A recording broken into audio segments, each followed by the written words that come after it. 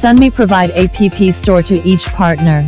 If the partner does not open, allow third-party application to install. The application market is the only way for users to install their apps.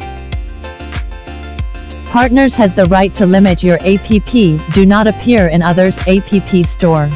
Even could set your app store not showing others apps.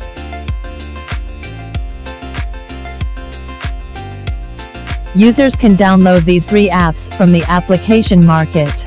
Please note the Sunmi application market only shows the apps from specific model. From the video, the application market uploaded three apps.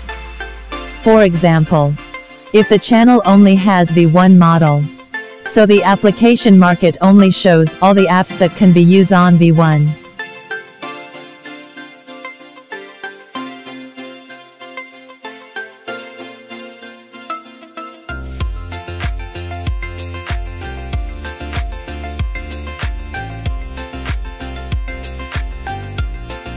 If you want the app you uploaded automatically installed on the device of all your devices, you can set it as automatic installation app as the following arrows showing.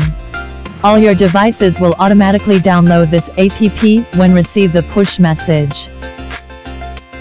You can set different automatically start app for specific model. The app will automatic start when the device reboot. Every model has default setting for one app. And this app will install on this device automatically.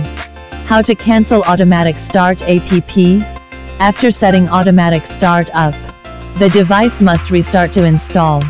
If the partner selects app protection, the device cannot close an order to make sure the operation will not be effect.